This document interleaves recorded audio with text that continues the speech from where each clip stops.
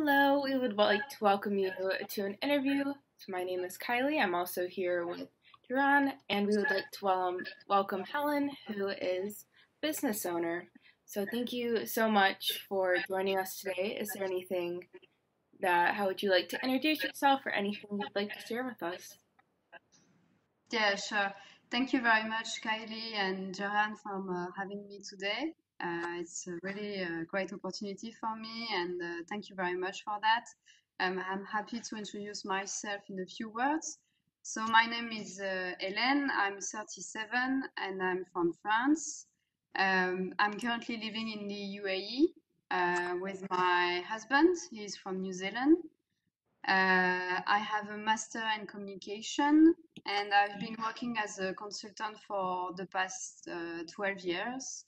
So I've been working in Europe, Middle East, uh, North Africa, in the Asia Pacific region, and mainly for the non-profit sector. And uh, I'm now launching my own business. Uh, so I'm a super young entrepreneur actually because it's just the beginning of my uh, entrepreneurial journey. And uh, I provide uh, executive coaching for leaders to transform the way they communicate. So that that's my main uh, target. And in terms of uh, of services, uh, I provide one-to-one coaching, uh, and my aim is to develop targeted plans for each of my clients. And I'm also experienced in navigating the complexities of multicultural working environments because you know I've lived in Europe, in Europe, in New Zealand, in North Africa. Uh, so, and I'm now based in the UAE, but I know what it is to be um, different in the workspace. And when you uh, are a foreigner, that sometimes it can be quite a challenge to be confronted to a new culture. So, uh, because I've been confronted to that, I want to um, make a positive contribution uh, and to develop the that's that kind of skill basically. That sounds really awesome. So what was the reason that you first wanted to start a business?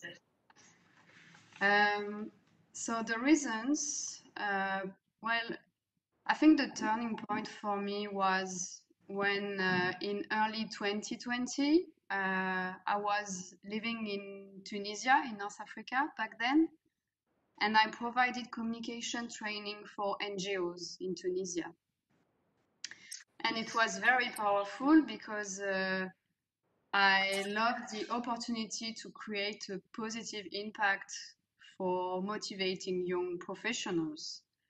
And the fact that I was able to share my knowledge, experience, and skills, uh, I started thinking, oh, maybe I should I should pursue that. Uh, maybe there is something I could develop around that.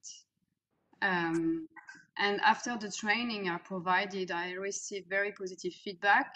Uh, so I think it really encouraged me to um, think a little bit more about what I could uh, do uh, in terms of training and, and uh, uh, yeah. So I think it, it, it worked like it, it started like that and um, also I want to be able to share my international experience. Um, and um, I also want to um, be more flexible uh, I think with my professional life because I mean I've been living um, as an expat expat since 2011 so I left my country uh, 10 years ago.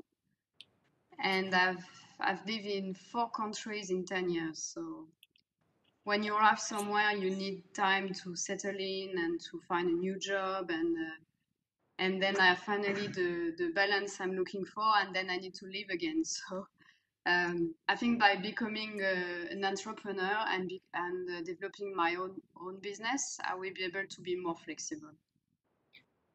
And also, I want to be able to maintain a balance between my uh, private and professional life, you know.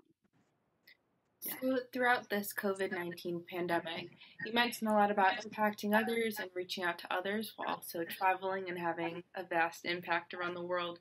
What kind of, you know, maybe challenges have you faced professionally throughout, like in the business world?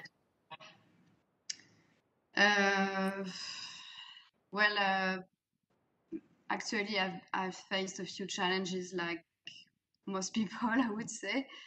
Um, I think for me, it was the fact that um, because I want to provide coaching uh, services to my clients, uh, I've realized that because of COVID 19, um, most of the meetings I have are on Zoom. Uh, and uh, you know that sometimes it can be quite challenging in terms of technical issues. Uh, can you hear me? Can you see me? Oh, I think we're lost it. Oh, you are frozen. You know, you know what I mean. I mean, I'm pretty sure you have been confronted to that as well. Um, so, and also when you meet someone and you you need to train that person and to uh, give uh, a coaching session to that person.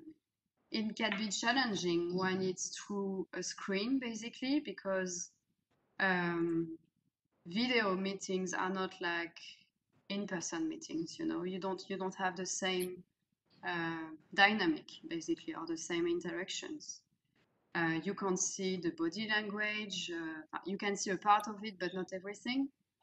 Um, and and because of that it can be a challenge.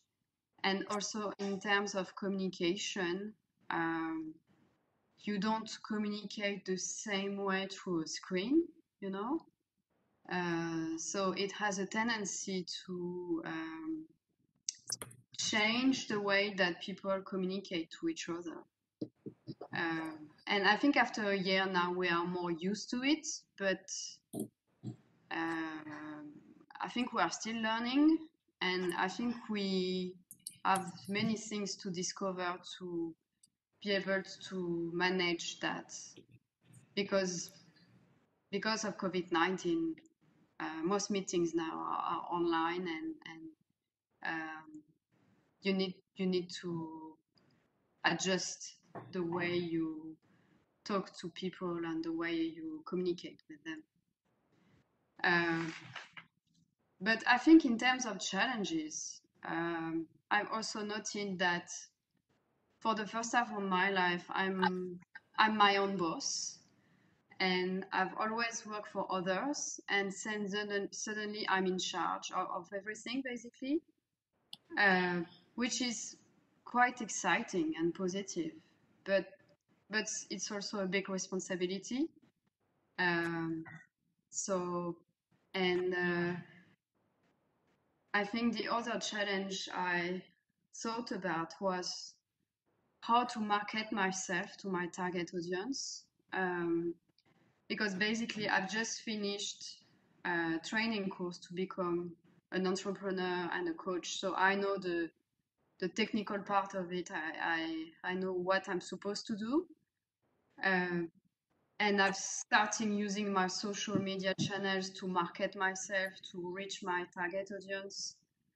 Um, but it takes time, and and I think as an entrepreneur, as a business owner, when you launch your own business, you have to be patient uh, because uh, you need time, basically, to to to set the right foundations for your business.